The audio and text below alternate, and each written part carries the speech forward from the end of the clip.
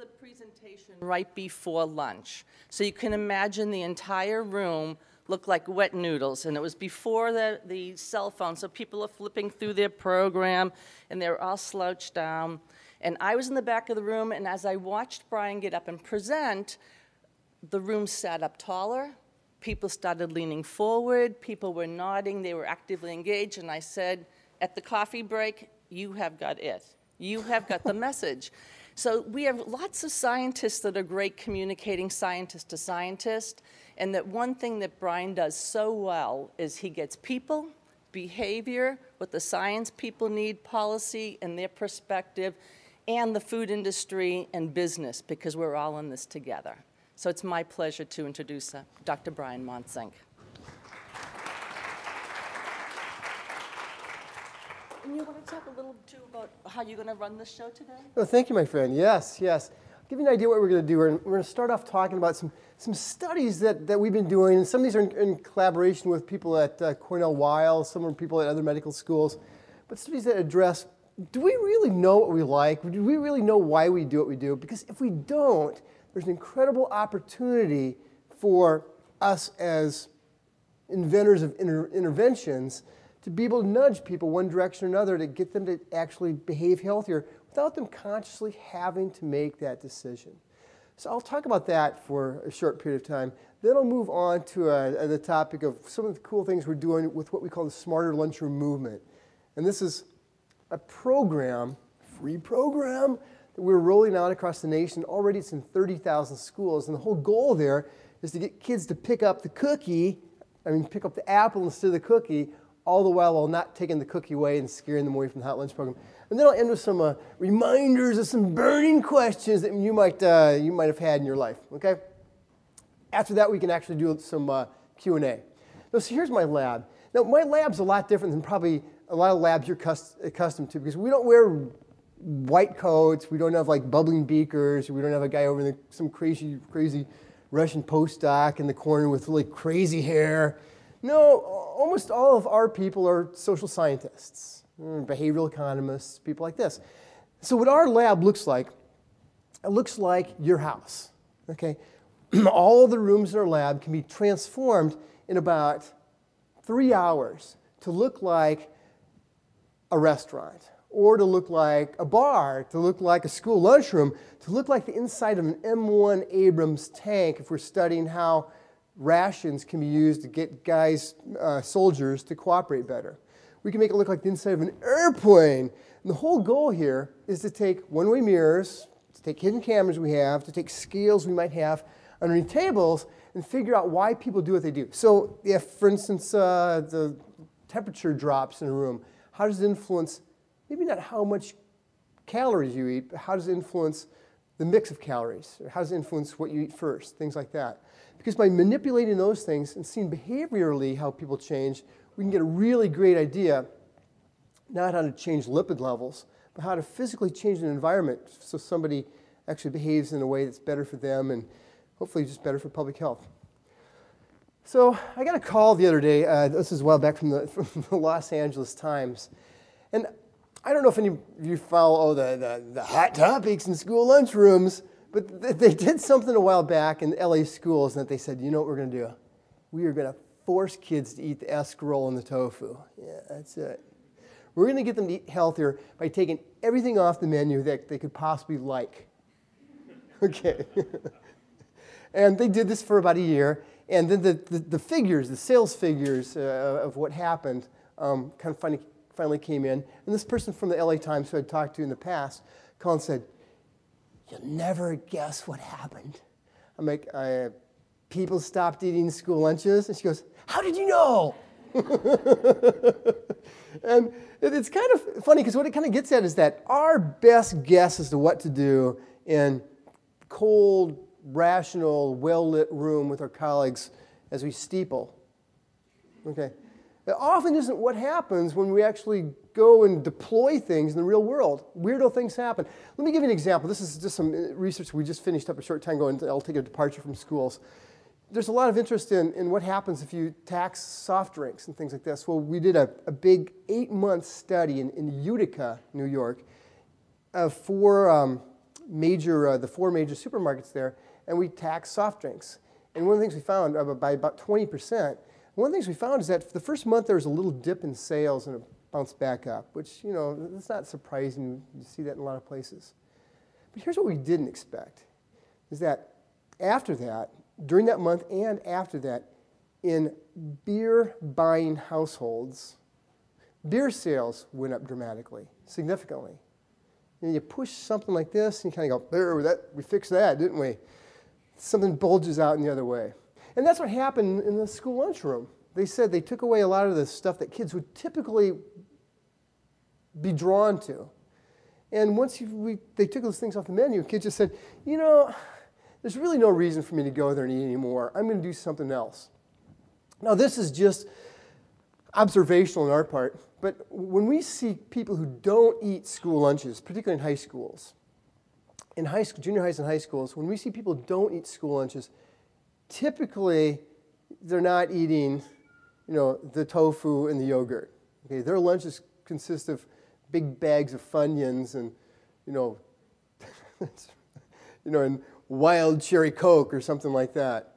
In about four out of five, or three out of four cases, we estimate people who don't eat school lunch actually, in general, eat worse during the day. I, we're not sure what happens when they get home, but um, it's not good. It's not happy news. And in trying to figure out what we could do to school lunchrooms, what we could even do to our own homes, because these principles will actually work in our homes, we wanted to look at two things. One is, do, do we really know what we like? And do we really know why we do what we do? Because, like I said in the introduction, if, if we don't, and if there's a little bit of gray area, if there's a blurred line around that, what we might be able to do is set things up so that, again, we can actually be our own uh, governor of behavior. Okay?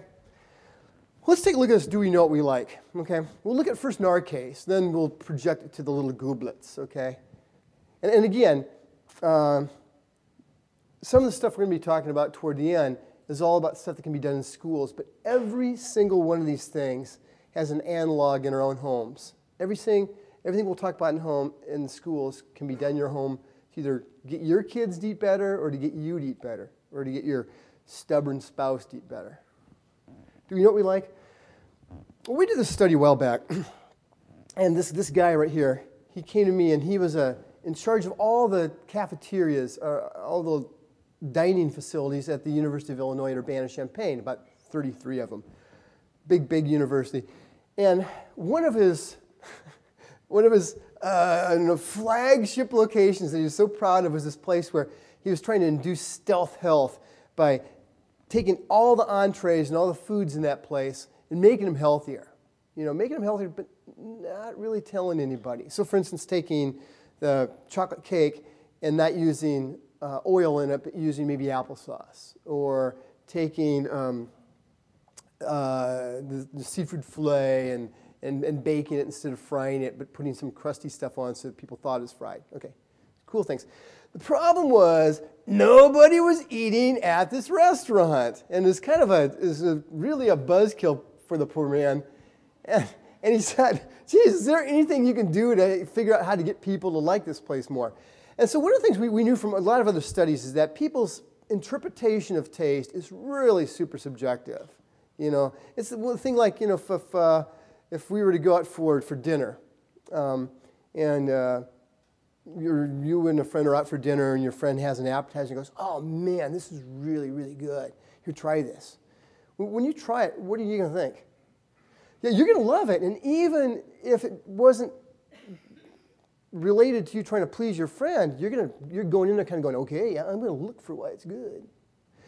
But if your friend instead said, oh, hey, can you try this appetizer? I, I, something's just a little unusual about it. What are you going to think the second you taste it? You're going to go, oh my God, they're trying to poison us.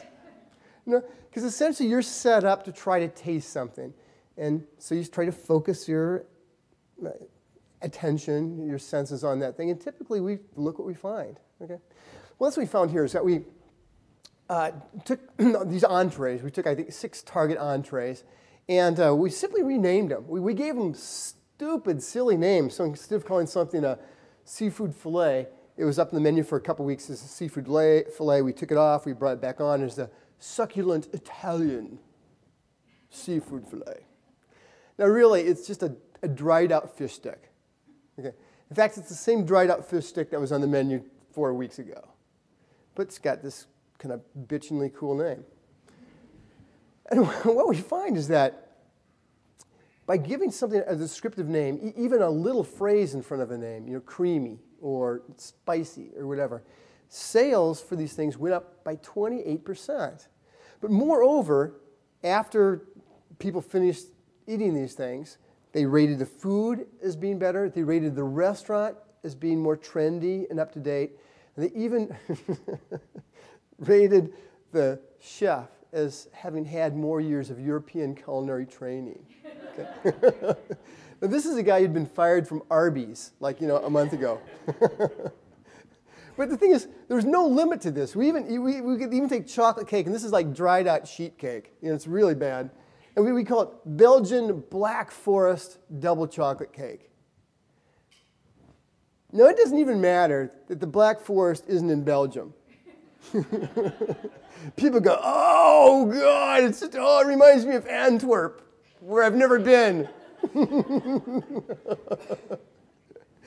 but there's almost no limit to this. So we've got this thing we call a research restaurant. It's called the Spice Box. It's open two days a week. People come in. They believe it's a training ground for new cooks. Because after all, every they have to sign a little consent form when they come in, and at the end of every meal, they sign a little card as to whether they like the meal or not. But we don't care whether they like the meal. That's all just a ruse. The real reason they're there is for us to do things. So we want to see what is the limit of this? What is the limit of our expectations on taste interpretation? So we took about, about 117 diners who came on one, one cold uh, uh, February.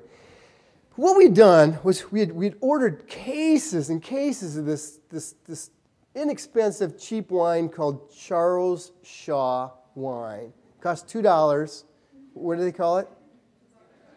That's right. That's right. Fans, I see. Yeah. Other fans. And actually, it is, uh, it's, it's not bad for, for $2. But we took the wine labels off, soaked them off, and we replaced them with wine labels that said that this was a, a, a Cabernet, that it was uh, um, new from California. Okay, California, place known for wine, known for grapes, known for you know great cool things. The other half of the bottle is the exact same wine. We put a label on that said it was new from North Dakota.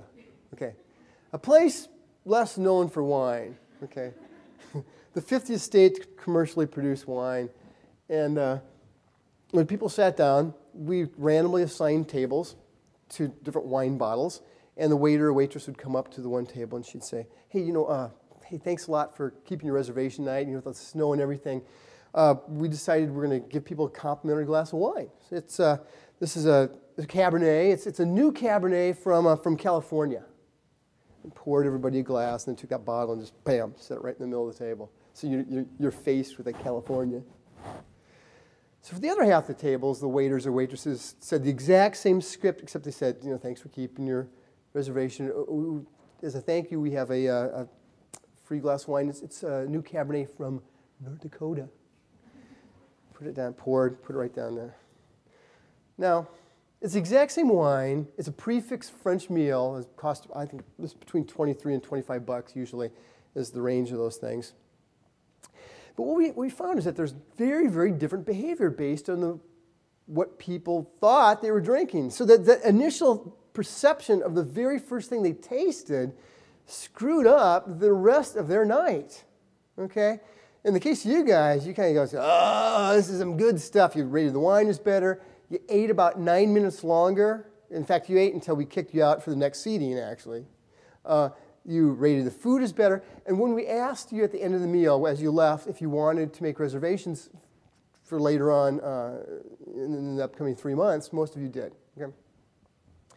You guys had a much less magical evening, okay?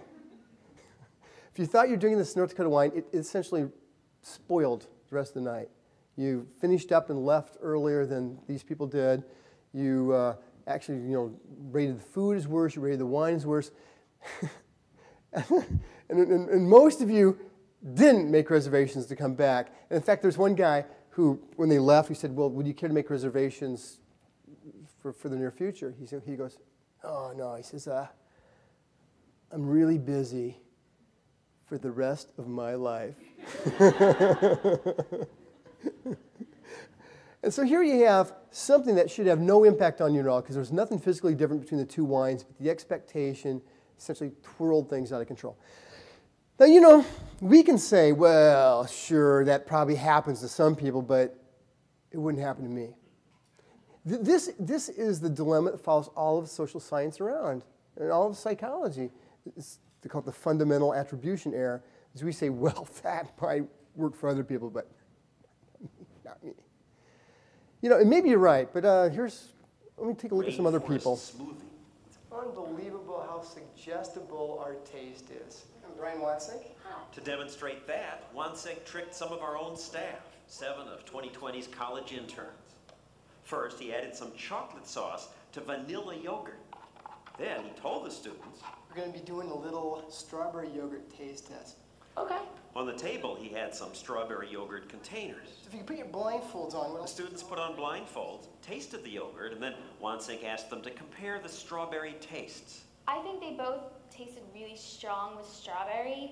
All the students were certain they were eating strawberry yogurt. This one had a much stronger strawberry taste to it. Oh, it just tasted more like strawberry. With this woman, Wansink tried something different. We're going to be tasting a couple different kinds of yogurts today. Okay. He didn't tell her what flavor it was, so when he asked her to rate the strawberry taste, Honestly, I didn't notice it's strawberry. Okay. and yet by the time I interviewed the group, she too had accepted the idea that she'd eaten strawberry. When you like follow up with a question like which one is more strawberry, I was like I had to choose one. They all believed it was strawberry. Actually, none of them was strawberry. It was vanilla yogurt with chocolate sauce. Stop. What do you mean it can't be? Well, I, I thought I tasted strawberry. I guess also when I opened my eyes, the two yogurts in front had a strawberry on the box. I think you're joshing us right now. I do. Because I, I feel like they, there was definitely a taste of strawberry. No, it was vanilla yogurt with chocolate sauce. But you thought it was strawberry. Why? It tasted like strawberry. I swear it did. The moral to these stories, says Wansink, is that we are much less taste sensitive than we think we are. We don't want to really believe that we are duped or fooled by something as simple as the. See, and, and the powerful thing about this is that if, if we can get sort of uh, mixed up or sidetracked by, by something, by the cues that are around us instead of the actual physical experience of eating something, we can actually also nudge the way that we like uh, what we eat. Now, I, you know, I had an interesting experience uh, a while back. We've, we've done a, a lot of these sort of studies like this, and you know, if you get a little too close to your research, okay, when you actually find something, it's like, oh my God, I can think of 500 ways that I can misapply this in my life, and I, they have lots and lots of dinner parties. And, and one thing that uh, I ended up finding is that um, we have people over for dinner, and instead of saying, yeah, here's, here's your uh, chicken, damn it, eat up. Mm. No, I'll find that simply by describing something or describing the way it was cooked, or even giving something just a couple names, make people like it just a whole lot more. Okay, it's it is wacky. So we had a series of studies that came out about this, and, and a couple years ago, there's a there's a a, a British publication. It's kind of like scientific. Um, it's called the New Scientist. Is anybody familiar with it? It's really really cool because you know British people are so funny. So it's really got this kind of cheeky, funny sort of way to talk about things. It's got it's uh, got a nice sort of tone. And one of the writers for it kind of came out and he was doing a series of stories, and one of them was was how to make your in-laws think you're a better holiday cook than you actually are. okay, and it was based on some of the sort of stuff, and we kind of we we talk about it. We'd, hey, thank you very much. I appreciate that. Um, we, we would talk about uh, how the, your expectations get biased, can, can bias your taste experience. And he's at the end of the, he's there for like two or three days, and at the end of the time he says, he says, you know, he says, I think deep down I already knew all this. which is, I mean, that's the definition of social science. It's, it's something that's obvious once you know it, right? He says, I think I knew this. And he says, because he says, I have dinner parties all the time. And he says, it used to be that I'm a great, I am a great cook, but nobody would ever comment about the food ever. You know, they'd come, you know, we'd have this incredible dinner that I'd, you know, prep earlier in the day. They'd eat it and just kind of like, you know, pound down some wine and just talk, you know, as if, the, as if we're eating at a fast food restaurant. And he said, what I realized I was doing wrong was that I had pre-prepped food, and so all of a sudden, you know, we'd, we'd have some wine maybe in the living room, and I'd say about a, a minute before it's time to eat, okay, let's go to the dining room, and I'll serve up food. And people kind of, would kind of go, that took you a minute to make? I mean, how good can it be? I mean, they say to themselves. So he said what he started to do was about 15 minutes before it was time to serve, he would get up, go in the kitchen, kind of just lean up against the counter, take a ladle, and every once in a while whack a pan, make some noise. That's wine. Then he'd serve it. And people in the other room saying, Oh my God, he's, he's been gone a while. He's working really hard because I hear noise. This is going to be a great meal. And he said that one little thing changed the way people evaluated his food. All of a sudden, he said he, got, he gets compliments all the time now about some of the intricacies of his cooking. So it's really powerful, and we find it's not just that, but I mean, if you're if you really uh, having that special person over this weekend, just actually having a candlelight, using um, using uh, little placemats, dimming the lights, having music, do the exact same thing to your food. Well, let's take a look at another thing. Let's take a look at do we know why we do what we do? You know, the answer is no. Okay, that's just the short answer. But I'm going to take a look at something. Um, if you look back to the last time you ate sort of a buffet lunch, do you know why you did what you did at the buffet? No, we wouldn't remember that because when we ask people two minutes after they leave a buffet, they can't even remember where they sat. Okay? Now take a look. We, wanted to look at the question. Um, a lot of people say, you know, the only way you can eat at a buffet, not overeat, the only way to not overeat at a buffet is not to go to one. But the crazy question is, why are so many people at buffets skinny? I mean, you could say, well, they're just skinny today. I mean, three years from now, man, they're going to be the biggest loser. I, it's going to, they're going to be just, you know, they're going to be those little, you know, motor cart things in, in, in, Walmart. You know, yeah, it's just hopeless, hopeless, I tell you. Well, I don't know. I mean, uh, I buffets a lot, and uh, we find that at least a third of the people at buffets end up being really skinny, like Victoria's Secret skinny. We want to figure out what is it that skinny people do at buffets that heavy people don't.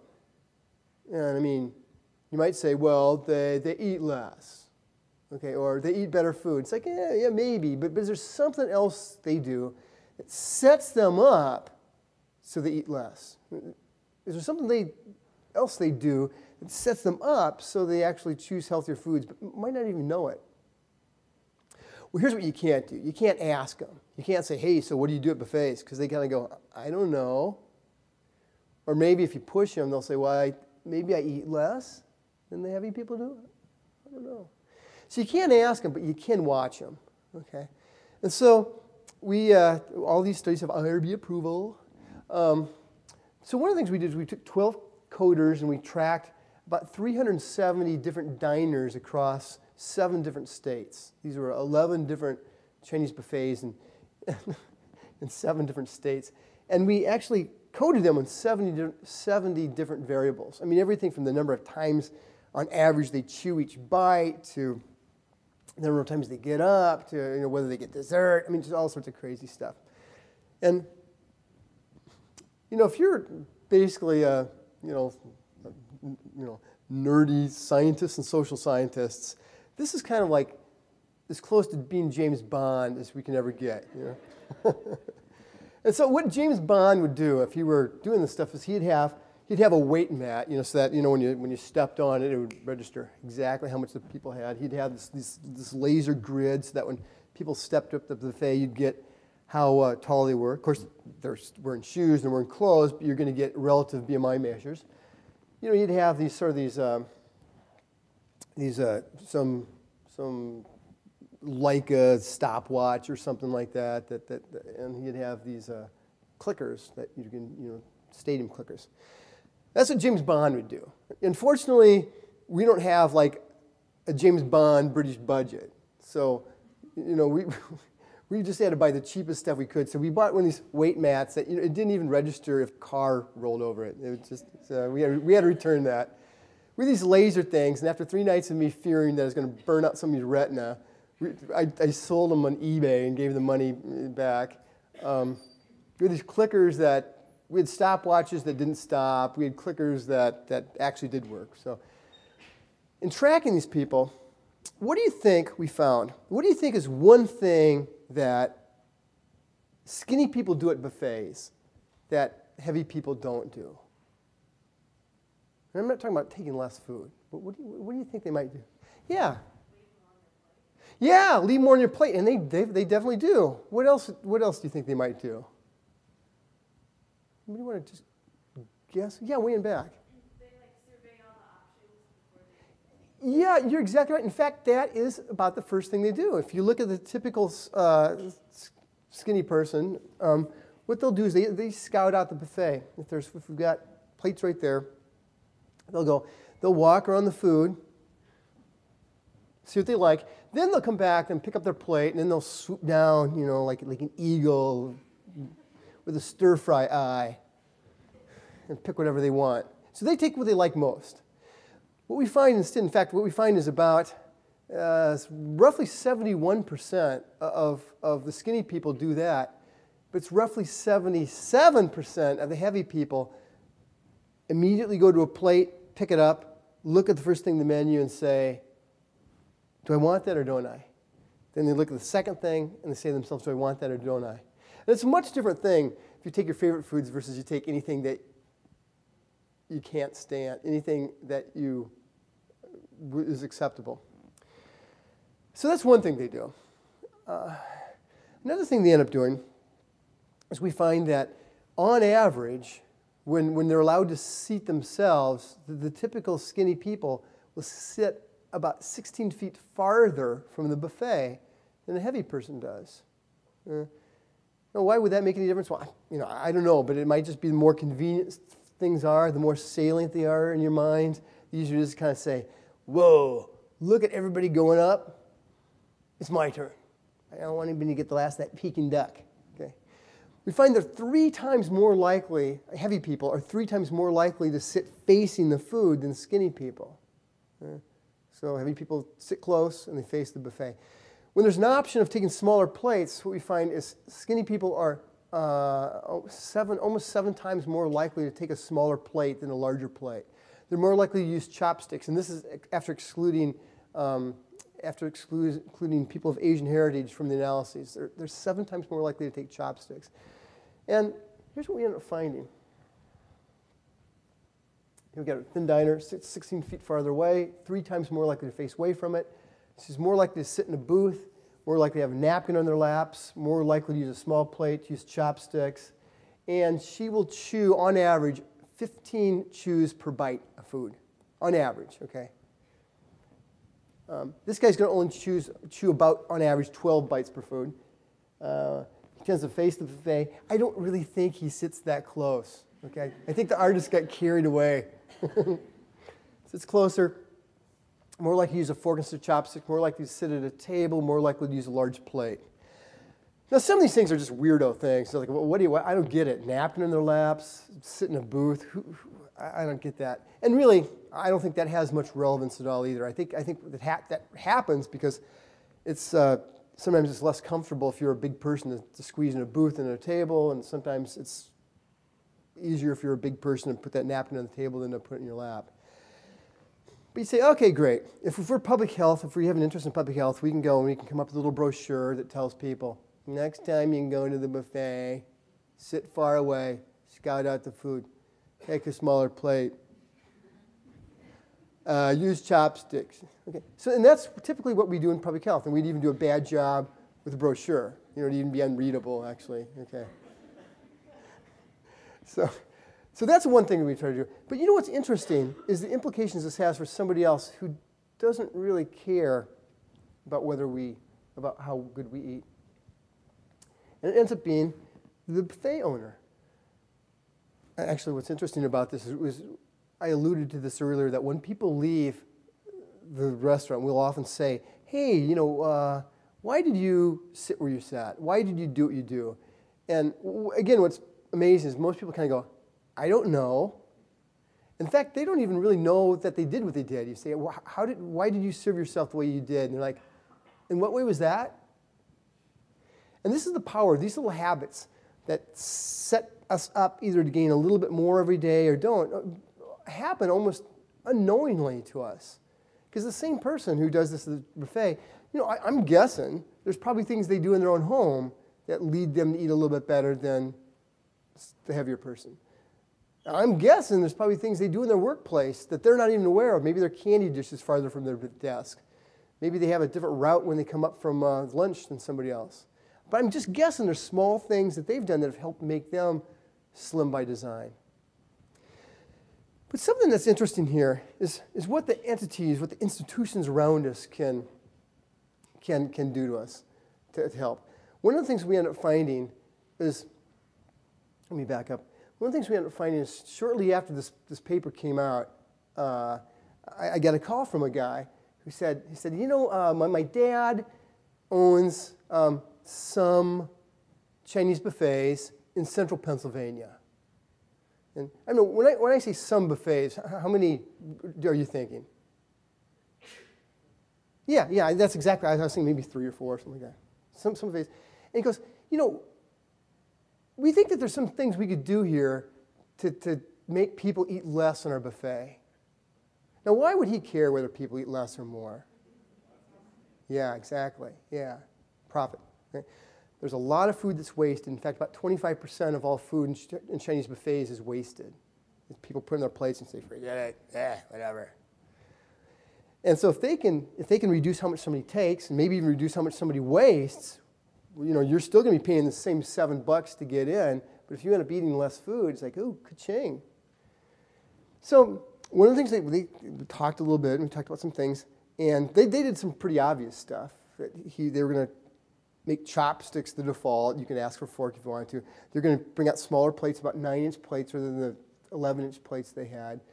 They were going to ask the, um, they're going to have their wait staff, the, the, the hostesses, when people came in, they would initially seat them as far away from the buffet as possible, and only when the place started filling up would they put more and more people closer to the buffet. Okay? They would try to get people to face away from the buffet. I, I, from what he said, that didn't really work very well because people basically sit at the table where they want. And then what they also did was um, to encourage people to kind of scout out the buffet. You, you, can't say, please look at the food before you make your selections. People are going, what? But what you can do, you can put those plates in a really unbelievably inconvenient spot so that somebody has to go, oh my God, I got to walk all over there. I got to walk by all this food and, ooh, look at that, look at that. I wish I had my plate. Okay. And then what they did, which I thought was really, really clever, is they um, took uh, these like fake plants and stuff like this, and they would often block the buffet off, but they have the fake plants. So if you're eating at the table over here, there's these fake plants, or there's a you know one of those um, those like Asian zigzaggy things, screens. And That's I knew it was a one syllable word. then the screens that would kind of block some of the foods that wasn't just so visible and salient. And, and, and these are really cool things because essentially what they're trying to do is they're pushing people in the direction of taking less, eating less, not so they can be good guys, but so that they can make a lot more money. And so about, I don't know, three or four months later, this guy actually comes up and he visits the lab and stuff. Uh, it's four or five four hours from central Pennsylvania. And he comes and he kind of goes, oh, I ask, how did it go? He goes, oh man, he says it's, it's going really well, but she says, geez, it just it took forever. He said I had to, you know, I had to give up my family vacation to do this, and you know, family without me, and blah, blah, blah. I'm going, and I'm saying to myself, how could it? You know, I mean, like you're making five changes to four restaurants. What? You, you can do that in a weekend? I didn't say that. I just said, oh, really? Why did it take so long? He kind of goes, well, my, my dad's got 63 restaurants. I went, holy cow. So that savings, even for the restaurant, it, it ends up being, on average, about $8,000 per restaurant per day uh, per year. So lots of lots of savings. So if we look at things, there's a lot of win-win ways that institutions, people, restaurants don't want us to be fat, but they want to make money. And there's a lot of win-win ways we can find restaurants, school lunchrooms, workplaces, grocery stores want to move us in the direction of eating healthy. And a lot of what I'm talking about today, the idea that we don't know why we do what we do, we don't know, we're very flexible in the way we interpret our taste, make us very amenable to being, to eating less and being slim by design. Well, I want to take a look at this. How we can use some of these things just in the context of school lunchrooms to get kids to take apples instead of cookies and think that apple tastes good. Because I, I don't know that we're doing them a huge favor if we just outlaw cookies. Because they're probably going to find another way to eat cookies after school, and it might come back with a revenge, okay? And I also don't know if we're doing any great life lessons if we're not, if we don't start creating sort of habits of empowering them with choice um, at some age so that when they go to college, when they perhaps go to college next year, they don't have to put on that freshman 15 in the first month. Yeah. Well, we started this thing called the Smarter Lunchroom Movement. And it, it started about, I just returned from, from the government, and within uh, maybe a week or so getting back, the commissioner of health from New York came up and visited, and we, we talked about some things. And when he returned, we got a call about a week later, and he said, You know, this is one of his project managers, said, You know, what we're doing is we're going to give these grants to a few schools, uh, a few school districts in New York, just a test grant. We're going to give them all 4,000 bucks to um, increase the sales of fruits, uh, increase the sales of whole fruits by 5%. The goal is what can be done in your elementary school, your middle school, your high school to increase fruit sales by 5%. Apples, pears, oranges, bananas, things like that. And what all these schools were doing was, was they're sub, going to subsidize fruit. So instead of being 50 cents per person per piece of fruit, they're going to subsidize it some, some amount of cents. They said, the question was, how much do we need, how much do they need to subsidize or cut the price of fruit so that kids buy 5% more fruit? Is it, do we have to cut it in half? Do we just do we go from 50 cents to 25 or 50 cents to 30 cents? How much do they have to cut so kids take 5% more? Now, if you think about this, Kids aren't paying for fruit in the first place. I don't even care how much it costs. They're just kind of giving their card, taking what they want to. Mom and dad are paying for it, or the free and reduced lunch program's paying for it. They don't even know what the price of the fruit is. Okay? And so we thought we went and visited these places, and let's take a look at. That's what a school lunchroom looks like. This is um, this particular school district that we visited is uh, uh, it's uh, way way it's, it's like Lake Saranac. It's, it's way way. It's like northern, northern New York. It's like pre-Antarctica, okay? It's way, way up there. But here's basically what a school lunchroom looks like. Um, and you'd have something like this, and in the darkest, dingiest corner of this, you'd end up having a chafer pan with apples and some greenish looking pears underneath a sneeze shield, so you had to contort yourself to, to reach this thing, you know, come back, and buy it if you want a piece of fruit. Well, we said, well, this is going to be pretty easy. I think our recommendation is going to be look, forget the price, just put it in a nice bowl and put it in a well lit part of the line. If our taste is so suggestible that if we put nice fruit in an attractive bowl and kind of go, well, that looks good. If that's enough to get some people to try it, it's, it's got to work at least 5% worth. So put a nice bowl, put a nice well part of the line, Five schools did this. Sales of fruit went up not 5%, but they went up, uh, for five schools, not 5%, but, a, but 103%, 103%, not 5%. And it stayed that way through the entire semester. Um, two schools said, oh my God, that's just so obvious, it'll never work. People aren't that stupid. Uh, I'm not going to do it to it. Sounds like it's a lot of work. A lot of work. Their sales went up, as you might guess, 0%. And then one school, It's just, God, I don't know. They just uh, they didn't get the mem- they didn't get the memo, or they weren't paying attention, or something. Um, when we're, we're talking to them, and this is a conference call about two months later, just checking in how, how things are going, and they, they said, "Oh yeah, you know, I think we did this wrong." And I, I mean, I have I have the world's most kind, fun-loving, incredible lab, you know. But these people are, are going you know, how could you get that wrong? We had, we had to put the thing on, on, on silence for a while. And then we took off silence. And I said, oh, well, what did you do? And she goes, well, you know, we put it in a nice bowl, but, and we put it in a line, but then we, uh, we got an old desk lamp in the closet we weren't using, just put it right next to the fruit bowl and turned it on. And then that's it. That's it. People, you know, my people are like just screaming, milk's coming out of their nose, they're crying. And I, I you know, I put the phone in mute, and after people settled down and, you know, picked themselves up off the floor, I said, "Oh, uh, how did that go?" She goes, "Well, sales went up 187 percent."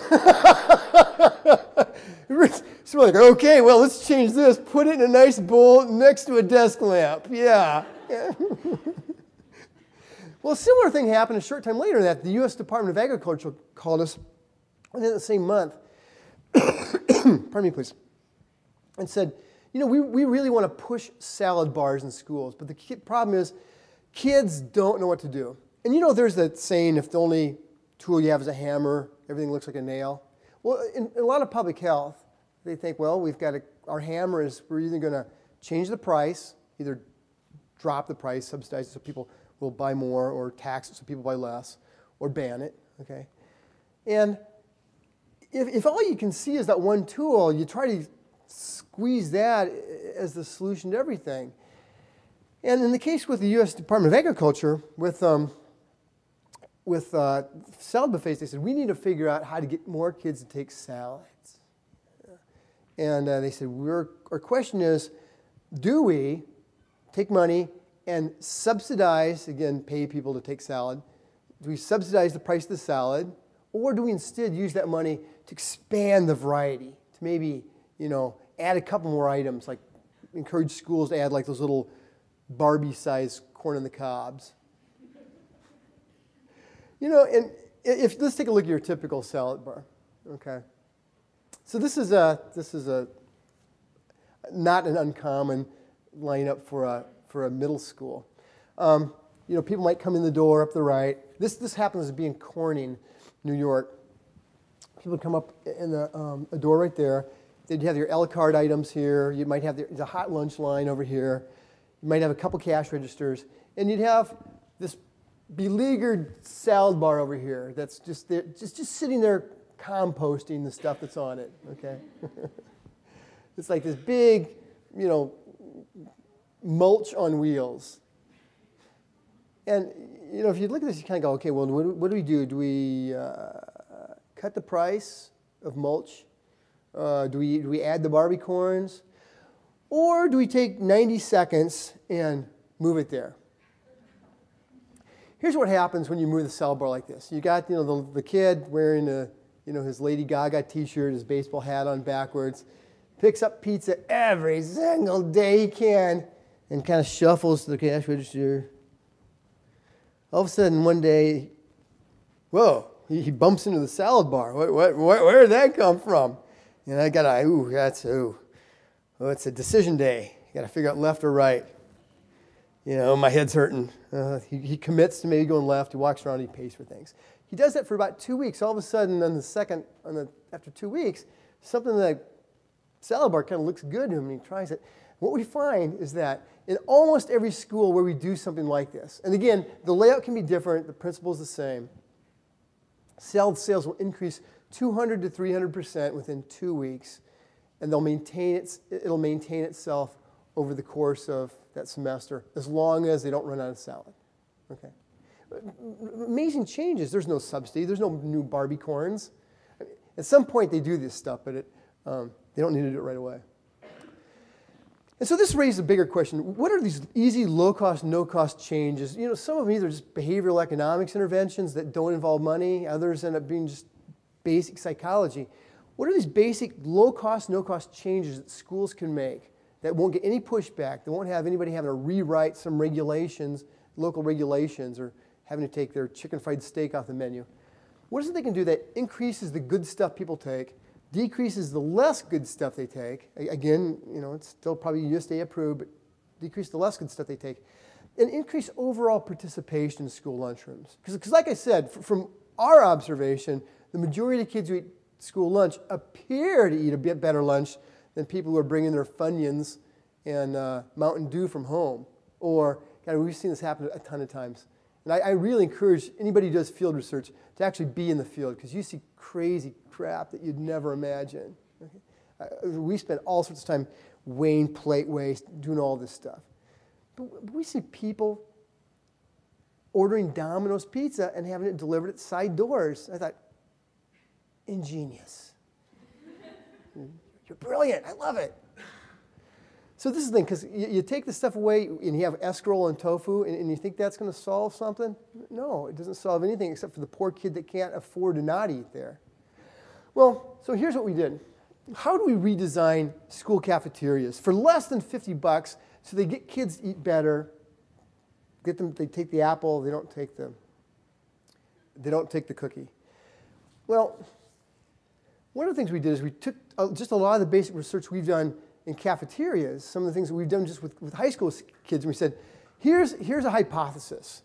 If we were to make these sorts of changes, here's what's going to happen. Okay, like, so for instance, we find that regardless of what it is, the first food somebody sees, they're 11% more likely to take than the third food they see.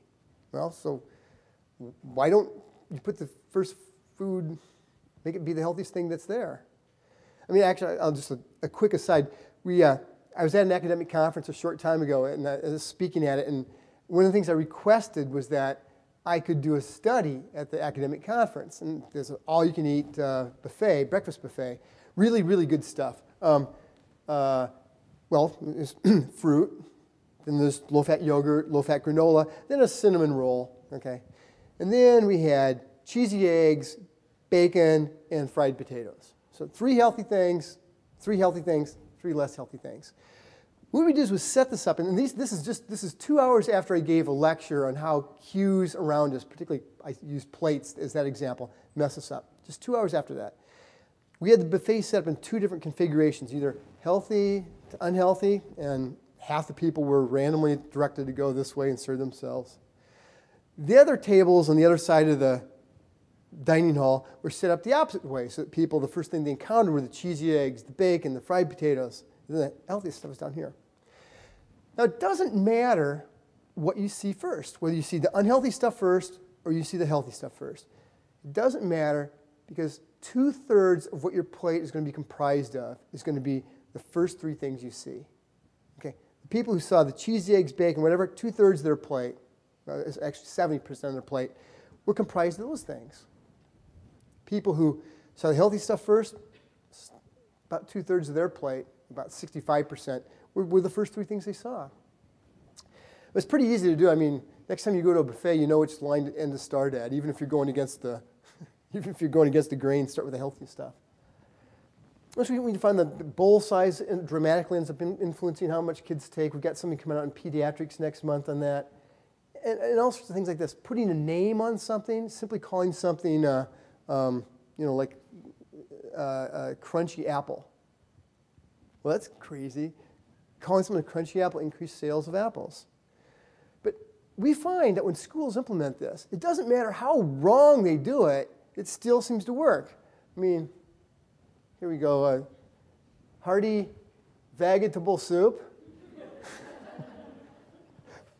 Clam chowder, hamburger, large hot dog, grilled chicken roll. I mean, is that a verb? I mean, is that, is that, is, is that like, like a, a, job opening? I, I don't know. You know. But it doesn't matter how mixed up these things are, they still end up influencing things. Let me give you an example. Here's something we did for, for one school.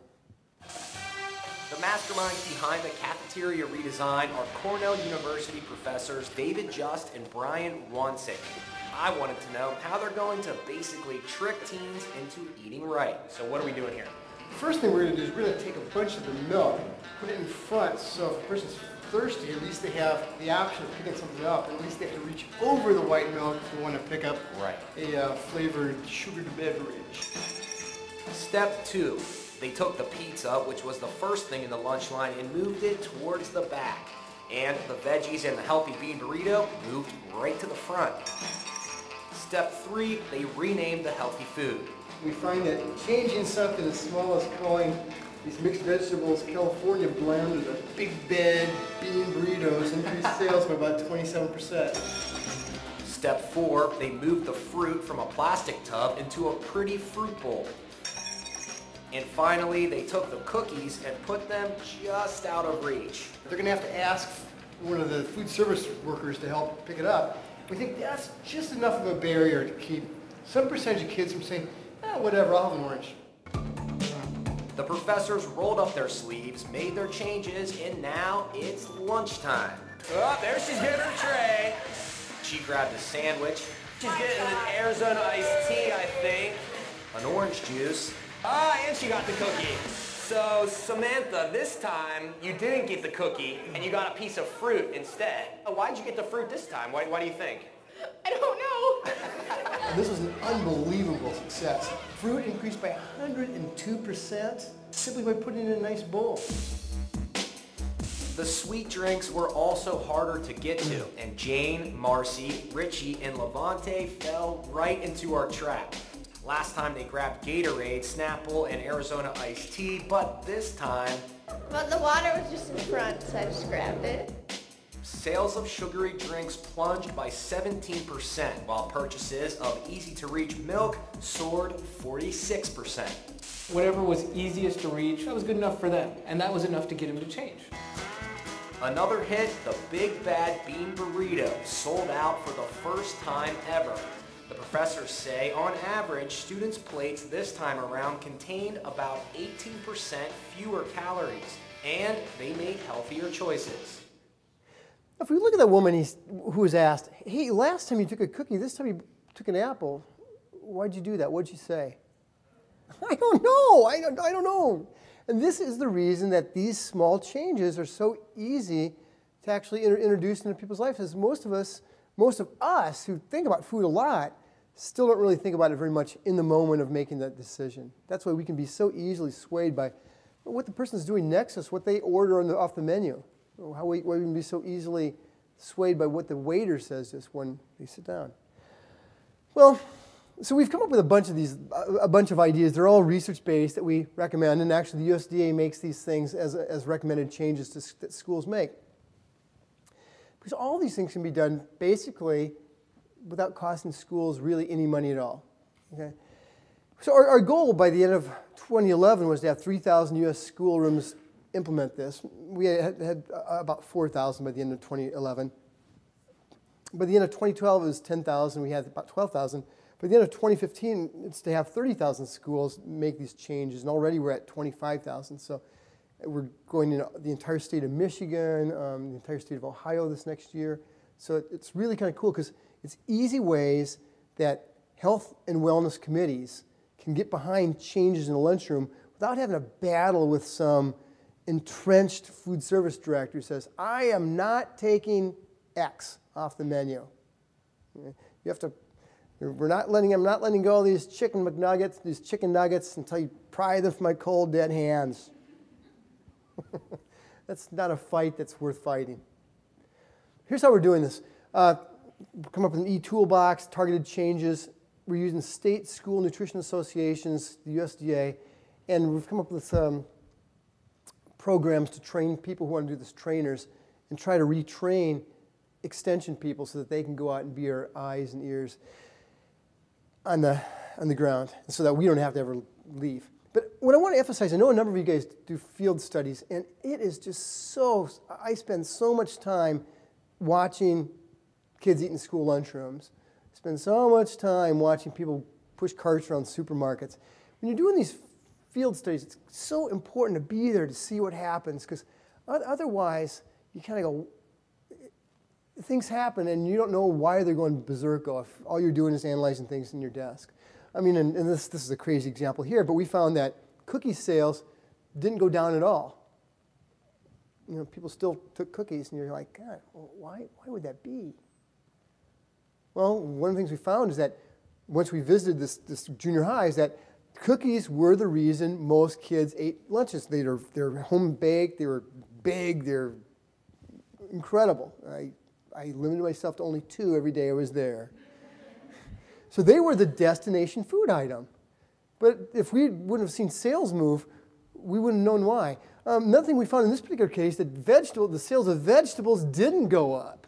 In fact, what happened is we moved vegetables to the front of the line. They dropped by about 32%. It's like, well, that's crazy. I mean, all of our lab stuff shows that whatever you put first, people are 11% more likely to take than if it's third.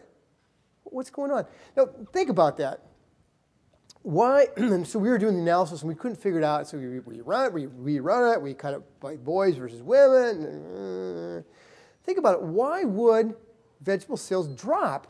Every lab study we showed that it worked, but why in the field would, would it drop? Why would putting vegetables first actually decrease the number of vegetables people take than when they're toward the back? Yeah. Yeah, you're exactly right. And we weren't smart enough to figure that out, so we just would scratch our head. And it's only by visiting the and watching this stuff happen in real time that you see that nobody picks out a vegetable and then picks an entree to match your vegetable. I guess unless you're a vegetarian. And most of us find the entree we want, and then we kind of then we say which vegetable was going to match what we just bought. But that's something we would have never figured out if we just if we didn't go there and stare at things and ask people questions. Well, in conclusion, I want to kind of bring this back to you, and then we'll open it up for questions about whatever you might want. But in conclusion, back to you. Um, I mean, if you look at maybe what might happen when you get home tonight, um, where do you want to sit next time you go to a Chinese buffet? Far away and face away, okay? How can you become a better cook in five minutes? Yeah, just give your food a name, describe it, say anything about it instead of saying, yeah, here's that pasta crap, eat up. Know, just give it. This even works for your kids too. If you give something kind of a cool name, they kind of go, "Oh, really? It's that's broccoli or that's dinosaur trees. It looks like broccoli to me, but you know, I, am I'm, I'm in for bro- I'm in for uh, dinosaur trees." What do you want to put in your home counter? Fruit bowl. You know, you put a fruit bowl in your home counter. Do you think you're going to take any more fruit, or your family's going to take any more fruit in the first day? No. You're not going to take any in the first week. You're not even going to take any more fruit in the first two weeks. It's only after it sits there for two weeks, for some unexplainable reason, that's when people start taking it. That's when it doesn't look weird anymore. It doesn't look some sort of foreign object. Yeah. But it only works if that fruit is within about two and a half feet of where you would normally walk. So if you put it over uh, on the table, which is not where you maybe normally walk, it's going to stay there. It's got to be really pretty much in the line of got it. It's going to be gone. That's your key thing, something like that. Well, that's what I wanted to talk about today is to introduce some of these ideas of, psych- of taking psychology and behavioral economics and, and moving them into a context where we can help people change what they do. We can change what we do without having to count, write a food diary, without having to say, must not eat gluten, must not eat meat, and so forth. Thank you very much.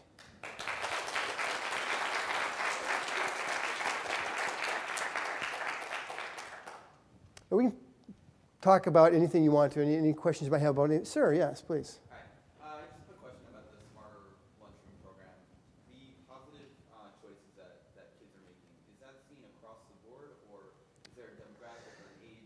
Yeah. That's an excellent question. Uh, is there demographic changes? Are there differences, age and, and uh, income? Um, one of the things we find uh, is that it, it, works much better for junior high and high school kids, mainly because for a couple reasons. First, there's more degrees of freedom in the upper grades. They've got, there's more foods that are being offered. They tend to have some of their own money. They tend, they tend to be a little bit more of their own thinkers. Whereas little, little, junior, little grade school kids, there's not that many degrees of freedom. They have fewer foods they can take. They tend to be really, really I don't, I don't say sheep-like, but yeah, sheep-like. And then, and we're less concerned about the jun- about grade school because that that's the one area where when mom and dad does give them things, sometimes they are healthier. They are pretty healthy. I mean, a lot of times they're not, but um, at, at that point, if mom or dad's making a lunch for them, sometimes it's actually reasonably healthy. Um, by the time a kid gets to junior high or middle school, it's like, ah, forget it. I've already given up on them. Eat what you want. And then uh, what we find uh, in, in, income and stuff like this, um, what explains most of the variance there, I don't think isn't because somebody who's, you know, dad and mom make less than $20,000 a year, different than somebody who makes over 200,000 but it's because they end up being on the free and reduced lunch program. And, and that's, and the, where's the kid whose mom and dad make $200,000 um, is just kind of trolling through the lunchroom, picking what they want, and they're not limited like a, like a younger person. That's a good question. Sir?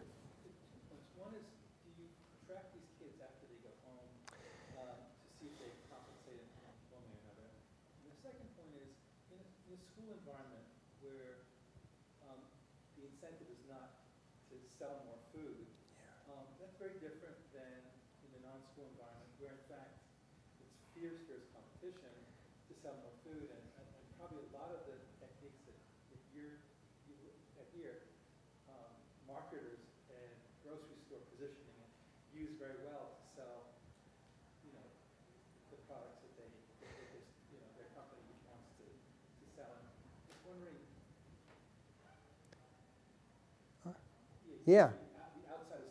Yeah, I, I, excellent questions.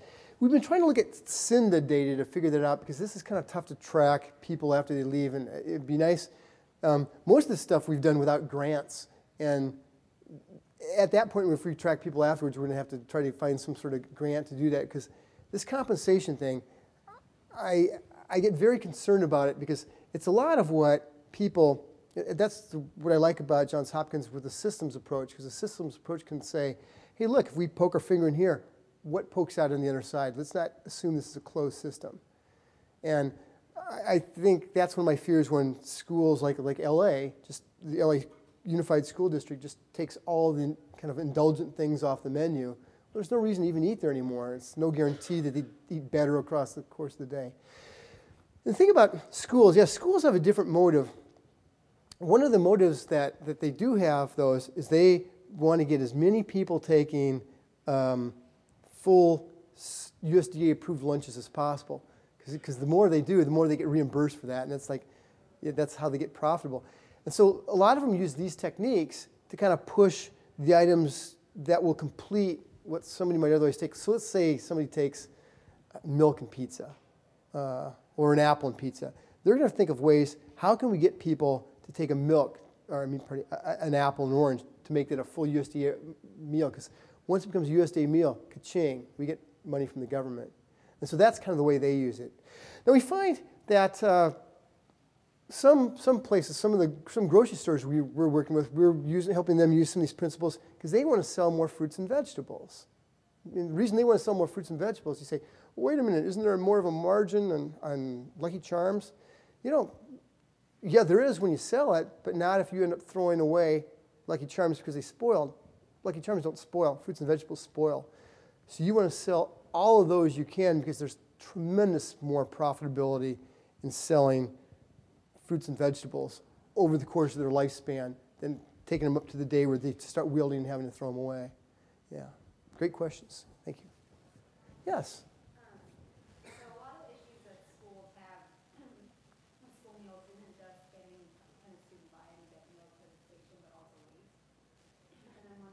But also waste. Yes, yes, yes, yes.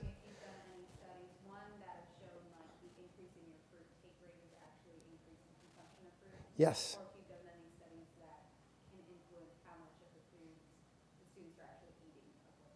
Yes, yes, yes. Great question. She said, yeah, it's one thing to get people to take it, but, but are they eating it?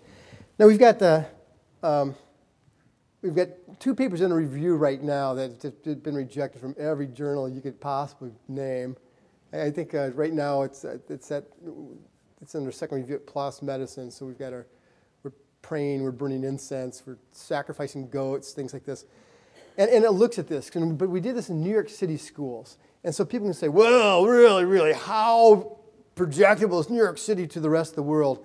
And what we find is we, we do these things, um, intake goes up, I mean, uh, uh, sales go up, intake goes up, but also waste goes up commensurately. Um, much more so for, for fruits than for vegetables. People take the, the fruits and they're, they're much more likely to throw them away, but also consumption goes up dramatically. And we presented some stuff to the USDA because USDA is very concerned about that. And the next round of stuff they're looking at is how do you end up decreasing waste. Now, I'll give you this is this is a, this is kind of a, a, a neat topic. we just had a paper published a while back, and you're not going to you're not going to believe something like this could get published, but uh, the, and the idea of trying to get people kids to eat more fruits. You say, well, what can we do to get people to eat more fruits? Well, if all we do is sit in our office and brainstorm and steeple together, JB, what about you? Cut the price. You know, make it mandatory, whatever. We're, we're missing the point. And so what we did, we went to schools and we'd watch what kids did. We'd talk to kids. And if you ask, if you ask an elementary school kid why they don't eat fruit, what do you suppose they say? I hate the taste of fruit. I hate fruit. If you poke a little farther, what do you think they say? They say, you know, it's hard to eat, man. You get stuck. My braces, my little mouth is so little, it's hard to eat that apple. I, oh, it's, it's, a hassle. If you talk to uh, junior high and high school girls, and you say, hey, why, why don't you eat fruit? What do you think they say? It's gross. I hate the taste. No, they say, you know, it's it's it's it's messy. It gets on my hands. It looks gross, and I want to kind of look kind of attractive, like I'm going, ar, ar, ar. And if you say, well, God, I mean, if that's what's going on, it seems like the real solution is simply cut up the stupid stuff. You know, and in fact, you, you can buy those, um, they're like these fruit guillotines, uh, sectionizers, I think they call them. And they're, they're actually pretty fun. So we would go to all these schools and bam, you know, and you put the apple or orange or pear in there go bam, and it just sections it. And what we found is when we did this, um, sales in um, in junior or in, in, elementary schools went up about 80%. In high schools or junior highs, they went up about 23%. And waste in both cases went down because people, it's easy to throw a whole apple away. It's, you know, but if you got like four quarters or something, you, people didn't throw so much away. And uh, it's, God, it's so, such a stupid, easy solution. I mean, I, uh, you know, I, I, do that at home all the time too. It's just like go home and just, just cut fruit right away, and I find it gets disappears like that. Great question. Great question. And that, it is, if anybody else wastes plate waste and does stuff, we have this really cool method. It's, it's just we're just publishing it this next uh, in the next issue of JAND um, about how to do plate waste visually. It's really really cool. Yeah. yeah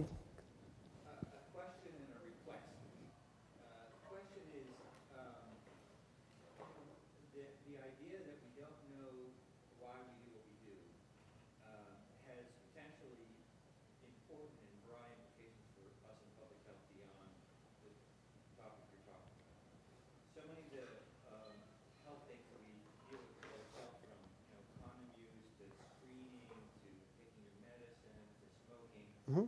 We generally approach it as if giving people information or telling them why they should make different decisions. That's our general paradigm, is giving people information, telling them what they should do, telling them the consequences. Now, if you're right that people don't know why they do what they do, it would seem to have very broad implications well beyond food. So I'd, I'd like to, you to talk a little bit about whether you know, you think food is really different in this regard, or whether this general principle has wider impact. And then as a request, would you talk a little bit about the study with nutrition experts and ice cream bowls? Oh, yeah, sure, sure. Yeah, thanks. yeah, so this idea that people don't really know why they do what they do, um, it, it, can, it can, it has a couple of implications. One implication could be from some people say, well, then we must tell them what they should do. You know, we, we, must, we, we must force them in that direction. Another view is we should just sort of set the environment up so people still have some freedom and they can kind of do what they want to do. Because in this case, once you tell people, they kind of go, yeah, yeah, great, okay, great. I see that happens to other people. I don't think it happens to me, but um, I'm not going to change. In fact, we find when bartenders, we did this, I, I lived in, as a professor, uh, University of Pennsylvania for a few years, that when we give bartenders short wide glasses versus tall skinny glasses, they pour about 30% more liquor into short wide glasses than tall skinny glasses of the same volume because they don't compensate for the width. You know, they're looking at the height, they don't compensate. But even after we show them that they do this, and even we, after, after we say, look, you poured 30% more, we ask them to do it again. Within two minutes, they still pour 20% more. Because this stuff's really, really hardwired. And I think it has implications far beyond. I'm, I'm doing some work with, a, with, a, with the military right now, and one of the things they're trying to look at is there's been this terrible thing happening with uh, a lot of um, um, uh, like, like sexual harassment and kind of rape among, with, among our own troops when they're in downtime, and they're trying to figure out what would be the way to solve that. And it's some of these same principles that we see here end up being relevant in that case in terms of reframing sort of the situation of these soldiers that in certain ways there, and I can talk more about that if you're interested. So I, I think this has implications in, a lot of other cases because these are just basic principles of behavioral economics, changing the convenience, the attractiveness, and the normativeness of things so that people kind of go, oh yeah, that's not weird to do that. Oh yeah, that's really convenient to do that and not this other thing. Well, it's really convenient for me to put the seatbelt on, things like that. And then I, I think the idea that as experts we get messed up.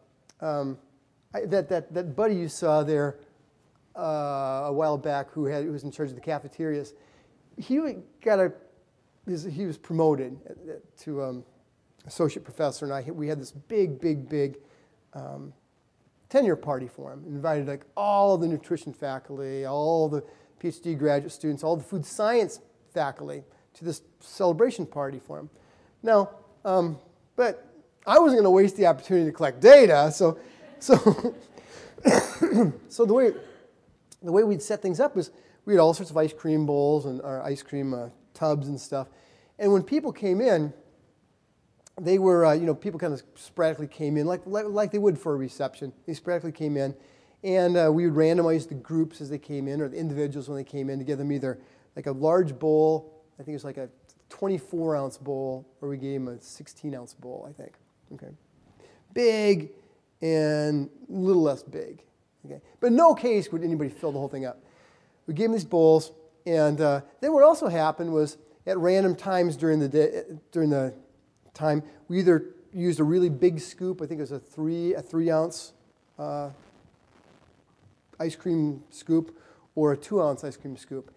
And one of the things we found out is that if people both had a big scoop, if they, if they had a big scoop, they'd serve about 14% more than if they had a slightly smaller scoop. If they had a big bowl, they'd serve about 37% uh, more, 37% more, I think, uh, if they had a big bowl. If they had both, there's about 50, 51% more they would serve. But at the end, we had them fill out this little questionnaire about how many calories they thought they took, and this and this and this. And even these nutrition science professors who we think about this all the time. They, they've, they've seen, I don't know, half a dozen of my different seminars over the years. Even they ended up being tremendously biased by this sort of stuff, even though they were the experts. And with them, though, when you say, hey, do you, think you took uh, any more because you had a bigger bowl, they go, yeah, yeah, yeah, yeah I, I realized what I was doing. Yeah.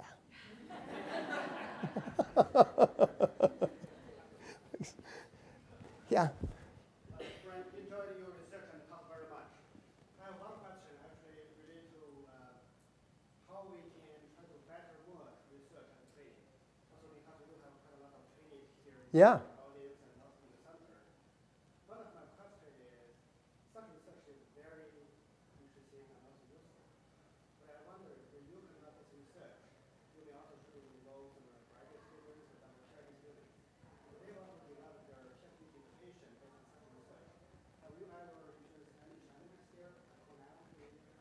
If I experienced any what?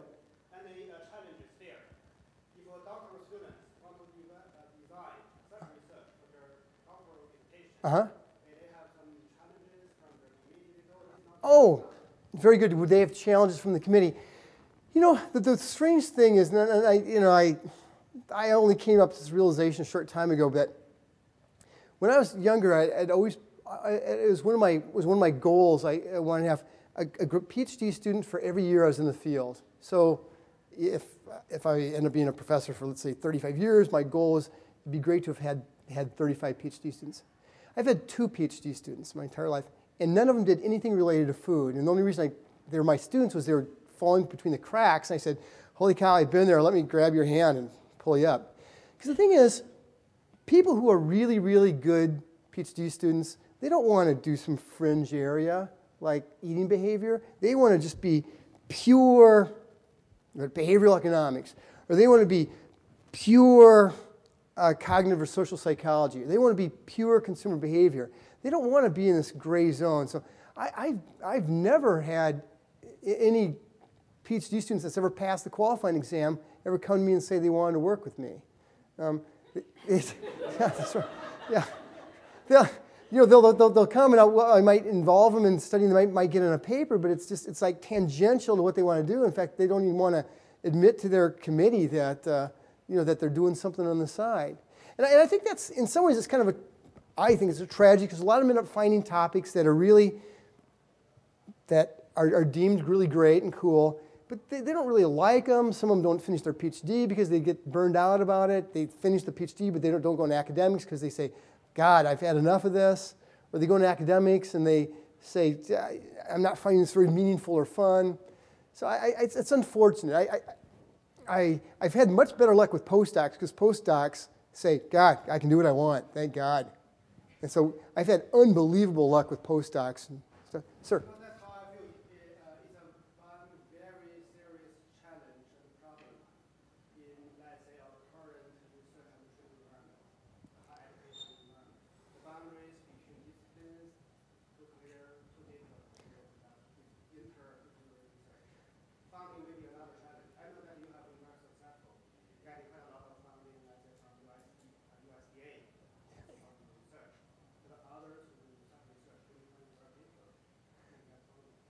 It, it is. And one thing that I, the funding didn't come very regularly until just a few years ago, but a lot of these things are really cheap to do. Like lab studies are really cheap to do, and you say, ah, what, what that? I, I pay $300 for, for, for this sort of stuff. Great, I can pay it out of my pocket.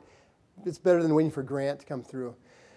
But the two things I found that, that have worked really well and that might work well for you, for you is um, international postdocs. We, we encourage international people, they want to come over and, and, and be a visiting scholar for even just three months, we find we get tremendous benefit out of them, and they get tremendous benefit out of coming over just because they get involved in a lot of stuff. And then postdocs, I think I have with with I have had this unbelievable good luck with with postdocs because they really want to work. They're they're not constrained like we, we talked about to their disciplinary boundaries, and they say every publication I get, every mention I get in the news, every dollar I get in the grant is going toward my future. So they are tremendously motivated. And I, I have them over for dinner all the time. It's, it's really powerful. It's, it's I think it's, it's, a model that in an interdisciplinary group like, like Johns Hopkins, I think, it would, it would seem to me to be really a, a great model for some of the units here, too, postdocs. Way back.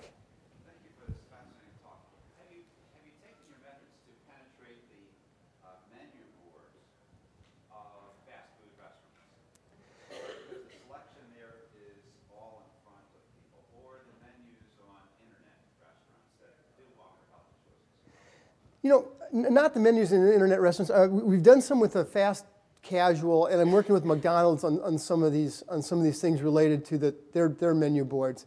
Um, I uh, actually it was interesting. was um, I spend most of my summers uh, in in in the in Asia because it's too far to go and when you're teaching, and one of the things I worked with a, a Burger King franchise in Taipei and said, hey, what about uh, rearranging sort of the stuff so that uh, the healthier stuff's at the top? And they, they go, yeah, okay. I'm like, well, that was easy, wasn't it? and, and, so they just put all the healthier stuff toward the, toward the top. Um, starting, they put water at the top, for goodness sake. Um, and, and I think we can ask them to do that, and we can encourage them to do that if it's the higher margin stuff that they make money on. Yeah, they're, they're, that's what they're more interested in.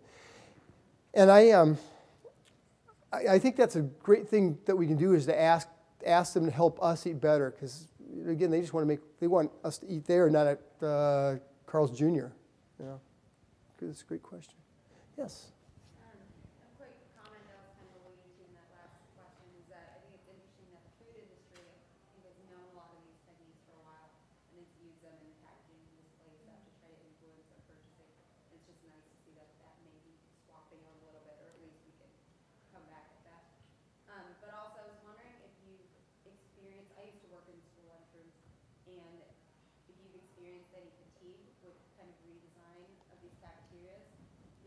Yeah. Oh man, that's and for anybody who does field studies, this is one of the we we've we do a lot of field studies, and this isn't school luncheons, but we learn this in other contexts that you almost don't want to measure anything the first two weeks after you make a change because you're either going to be unmeritoriously happy, like oh my God, it's a five million percent increase. You're high fiving random people across campus. Or what happens is, is, just people freak out, they don't touch it, and it just molds, okay? So it's one extreme or the other. It's like, whoa, a change. Don't like change. And walk around it. So we find it takes about two weeks for anything to sort of dampen out. But with almost all these changes, what we find is that they will, they will stick for a while, and then they start to trail off at about a two-month period, a little less effective. And so what we find that needs to be done is there needs to be another change that's brought in at that point. But the nice thing about these school lunchrooms is they, may be really hesitant about making the first couple changes, but once they do and they see an effect, they're really quick to try something else. Yeah, that's great. Yes, yes.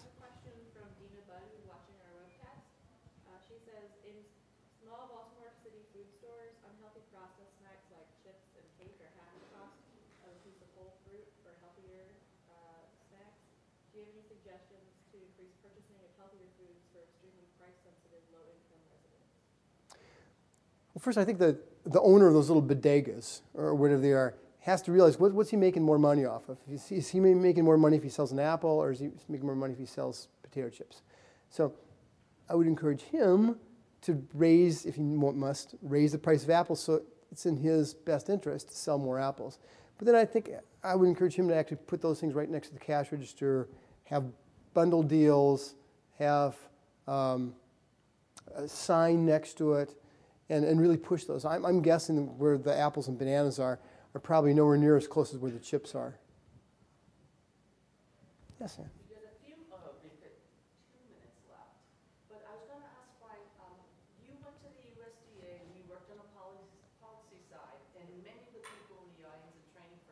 Uh-huh. implementation. And if you could just address the difference of your academic to your policy side and, and what that was like for you. I, I will, thank you. Well, the first thing I, I think we want to kind of keep in mind, and this is why Anne's become such a dear friend over the years, is it's really hard to do anything related to food, make any sort of change if we say, well, I'm just going to do it as a lone wolf. And there's working in groups and saying, okay, now we're working as a group, um, and I'll tell you when I need you. But it's another thing to actually try to build these connections and try to see where they can move eh, more organically. And that's why Anne and I have known each other a long time. And I use that to segue into, into government. That one thing that I learned in government is that there are um, four types of no. Okay, there's there's no. Don't bother me because I don't have time. There's no because we've never done it that way before, or we did it once and it, it didn't work. There's no because I would have to ask my boss, and I don't want to do that. And then there's no because it's illegal. Okay. and, and all of those, let's say even no because I'd have to ask my boss, that, that could be the U.S. Uh, Secretary of Agriculture who you're asking. He says no, and he's saying because I would have to ask somebody higher. Okay, and with all of those, the first three things can be overcome if you have the tenacity. And there's, a, there's an expression I heard once time, and it's, it's, it's the expression is there are 99 roads to Rome. Okay? Meaning there's 99 ways to get something done. I, I used to have a girlfriend who said, there's 99 ways to get what you want, which I thought was a little bit. But you know, but, but she's right. But what do most of us do? We try two ways. I mean, if we, the first two or three don't work, we kind of go, ah, well, whatever. I guess it's uh, it is what it is. I don't have to do anything now. But we don't explore the other 96 things. And that's what I learned in government is that, first of all, no never means no in government unless it's illegal. It just means they don't want to help you or they don't want to help make it happen. So you've got 98 other ways to try to do it. And that's what people don't do. I mean, that's the same way, you know, if you look at really super successful researchers, the, the people you kind of go, how in goodness name do you do that? I, the difference between that woman over there and this guy over here who is just as smart, or maybe even a little bit smarter in some ways, has nothing to do with intelligence because this person says, okay, well, that just got rejected from the 17th journal. Time for lucky number 18. and you know, they never have an unpublishable paper, and I think they just keep it, keep it going. And that's what I encourage. There are 99 ways to get something done, whether it be that project you say, God, how do I solve this stupid thing? Whether it be the paper that's getting rejected, whether it be trying to come up with an intervention. The first two or three ways probably might not work, but that's when most people just give up. They kind of go, well, eh, it is what it is. I'm going to go do something else now. So I'd really encourage you to explore those other 96 ways. And thank you very much, my friend, for, for bringing me out here. And thank you very much.